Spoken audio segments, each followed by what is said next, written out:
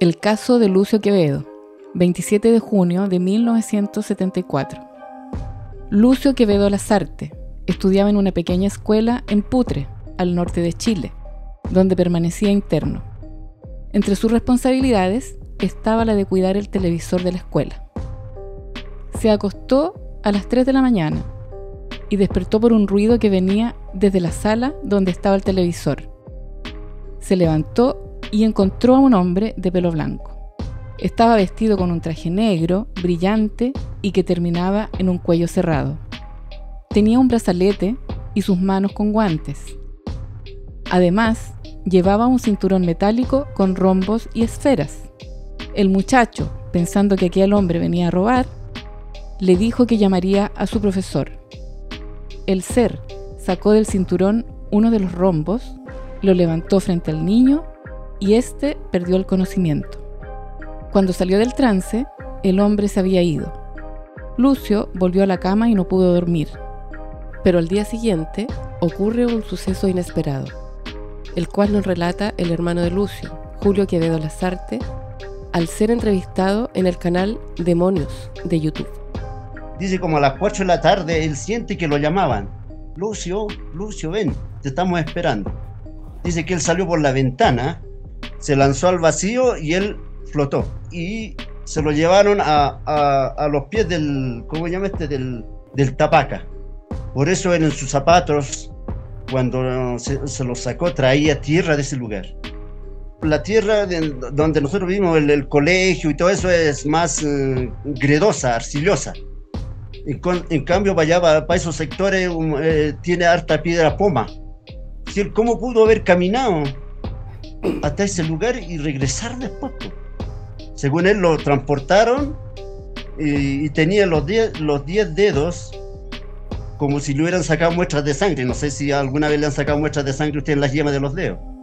Y yo el relator dijo que llegué, llegué dijo, a un lugar donde era así como una sala de operaciones. Había una luz grande que me iluminaba y me amarraron los brazos y los pies y ahí me examinaron. Y después lo volvieron a transportar y lo dejaron en ese lugar donde nosotros lo encontramos.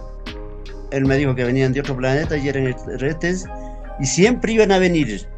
Todo el internado, incluyendo profesores y alumnos desde las 16 horas hasta aproximadamente las 10 de la noche, buscaron a Lucio incesantemente. Entonces cuando llegamos, ah, salimos con Donato, nos fuimos, salimos del internado, estamos regresando ya, ya íbamos a retornar al, al internado, como dicen, no, era un chiquero, pero era un basural, donde antes se quemaba todo la basura. Y cuando alumbramos y vimos que algo se movía, nosotros pensamos que era un perro. Y cuando ahí Lucio estaba como, ¿cómo le voy a decir? En posición fetal, doblado y ya eh, se estaba congelando. Y eso estaba como a unos 5 metros del, del liceo, hacia, hacia un barranco ahí. Y eso es lo más increíble, que lo habíamos recorrido, no solamente yo, sino los profesores, los carabineros, todo ese sector se, se rastrilló todo, pero no había, no, no había nadie. Y ahí lo encontramos nosotros a esa hora. Lucio estaba en estado de shock y pasó toda la noche sin gesticular ni dar luces de conciencia, por lo que llamaron a carabineros y al paramédico del pueblo. Su hermano lo cuidó hasta que despertó. Ya me desperté como a las 7 a 8 de la mañana Lucio ya estaba de acuerdo. Habló Lucio. Pero sí, Lucio dijo algo que, que sucedió después pues, con el cabo Valdés. Estos caballeros, o sea, estos van a volver. Me prometieron que van a volver, pero nunca dijo si volvían por él o venían a ver a otra persona. Para confirmar su historia, se realizó una expedición al volcán.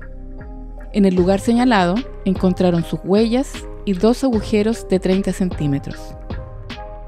Lucio no está acá porque, eh, al menos, ¿no? él no, ya no quiere saber nada del tema, porque él es pastor evangélico en este momento. Vive en La Paz y recorre casi todo el país en Bolivia. Si quieres conocer casos interesantes, te invitamos a buscar nuestro canal, suscribirte y activar la campana.